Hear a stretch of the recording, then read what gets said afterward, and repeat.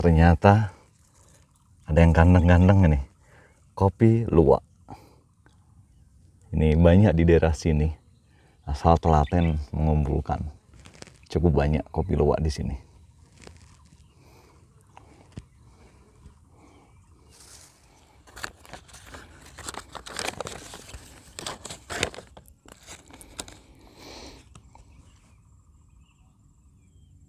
Tapi syukur kepadamu ya Tuhan.